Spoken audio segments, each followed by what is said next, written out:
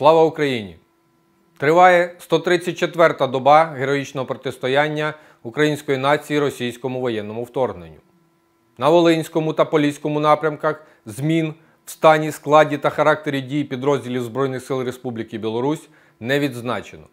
Зберігається загроза завдання ракетно-бомбових ударів з території цієї країни.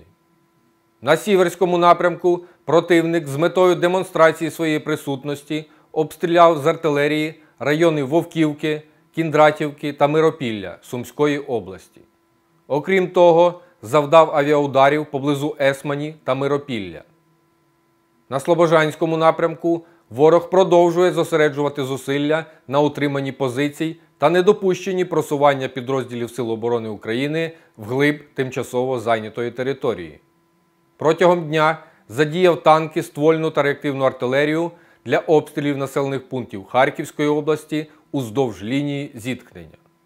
Наші воїни звели на нівець усі потуги ворога просунутись в напрямку Соснівки. Штурм відбито, а окупанти відійшли на раніше зайняті позиції. На сході нашої країни противник до цього часу намагається встановити повний контроль над територією Луганської області. На Слов'янському напрямку окупанти знову безуспішно штурмували Богородичне, намагаючись повністю його захопити. Наші воїни жорстко придушили цю чергову спробу. Ворог здійснює вогневе ураження ствольною та реактивною артилерією районів населених пунктів Сулигівка, Червоне, Нікополь, Новопавлівка, Карнаухівка, Адамівка, Краснопілля, Богородичне, Мазанівка, Дібрівне та Долина. Біля останнього для ударів застосовував штурмову та армійську авіацію. На Краматорському напрямку ворог здійснив невдалі спроби штурмових дій в напрямках Григорівки та Верхньокам'янського. Зі ствольної та реактивної артилерії окупанти обстрілювали райони населених пунктів Маяки, Сіверськ, Серебрянка, Григорівка, Верхньокам'янське, Золотарівка та Званівка.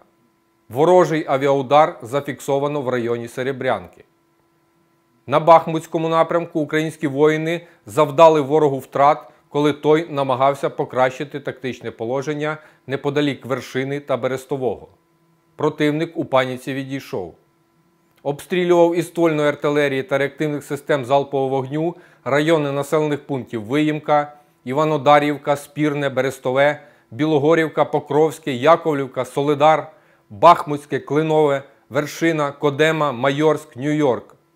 Застосував армійську авіацію поблизу шумів. Закріплюється на околицях населеного пункту Спірне. На Авдіївському, Курахівському, Новопавлівському та Запорізькому напрямках тривають обопільні обстріли із ствольної та реактивної артилерії вздовж лінії зіткнення. Літаками штурмової авіації ворог завдав удару поблизу Кам'янського. На південно-бузькому напрямку обстановка суттєвих змін не зазнала. Підрозділи ворога продовжують утримувати зайняті позиції та наявними засобами ураження обстрілювати позиції підрозділів наших військ. Заяви Міністерства оборони Російської Федерації про нібито загибель українських воїнів, які виконували зачистку та встановлювали прапори України на острові Зміїний, не відповідають дійсності.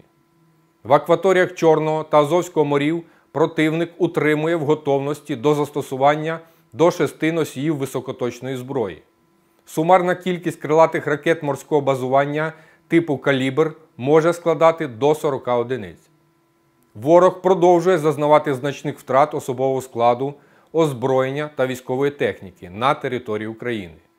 Так, за наявною інформацією, командування Центрального військового округу Збройних сил Російської Федерації змушено виводить підрозділи зі складу 35-ї окремої мотострілецької бригади.